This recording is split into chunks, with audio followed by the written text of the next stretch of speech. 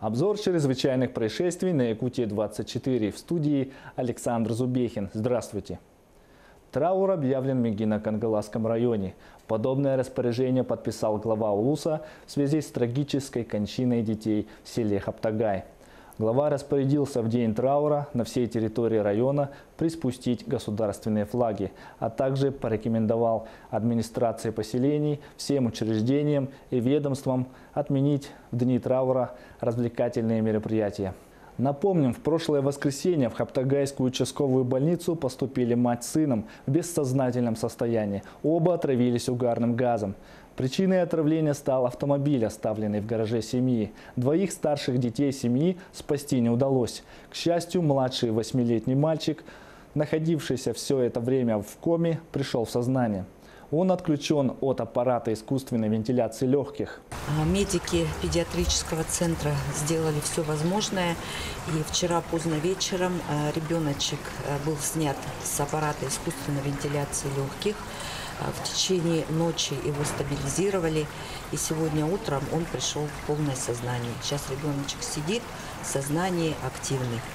По маме Значит, она сегодня у нас выписана из больницы, из мая. Состояние ее стабилизировано, и э, до сих пор с ней работают психологи.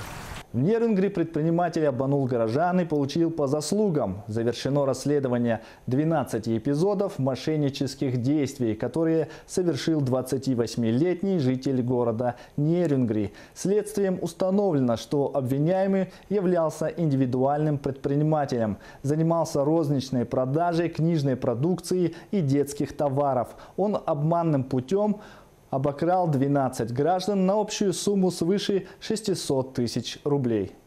Заключая с потерпевшими договора поставки, индивидуальный предприниматель не выполнял своих обязательств по ним, а присваивал денежные средства, полученные им в качестве предоплаты, и распоряжался ими по своему усмотрению. В настоящее время уголовное дело, возбужденное по признакам состава преступления, предусмотренного статьей 159 Уголовного кодекса Российской Федерации «Мошенничество», в отношении обвиняемого направлено в суд. Напал на беременную женщину. Еще в прошлую пятницу полицию обратилась жительница микрорайона Марха города Якутска. Заявительница пояснила, что подверглась нападению на одной из улиц микрорайона. Выяснилось, что днем к потерпевшей подошел молодой человек и, угрожая железным предметом, потребовал отдать деньги. Однако потерпевшая подняла шум, напугав этим злоумышленника, который скрылся с места преступления. Потерпевшая не сразу сразу обратилась в полицию, так как испытала сильный шок. Подозреваемый задержан. Не успел затормозить. Накануне вечером в поселке Нижний Бестяк Мегина Кангаласского района водитель автомобиля Toyota Gaia совершил наезд на женщину-пешехода, которая переходила проезжую часть по нерегулируемому пешеходному переходу. Водитель в момент происшествия был трезв.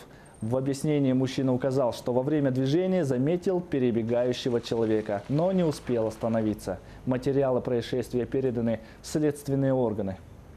В результате дорожно-транспортного происшествия женщина поступила в районную больницу с диагнозом э, закрытая черепно-мозговая травма, сотрясение головного мозга, открытый перелом э, правого локтевого сустава, закрытый перелом обеих ветвей лонной кости справа со смещением. Назначено стационарное лечение. По данному факту проводится проверка.